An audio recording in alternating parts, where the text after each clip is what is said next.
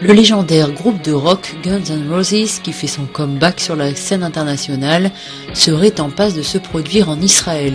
Un grand producteur israélien aurait pris contact avec l'impresario du groupe pour programmer un concert prévu à l'automne prochain. Guns N' Roses s'entame dès le mois d'août une tournée européenne qui débutera en Angleterre et le producteur israélien qui souhaite les faire venir en Israël espère débloquer une date entre le 27 et le 30 septembre prochain.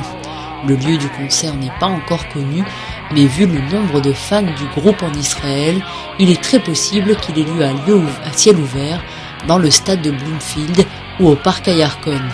Entre Axel Rose et Ozzy Osbourne, l'automne va être rock'n'roll en Israël.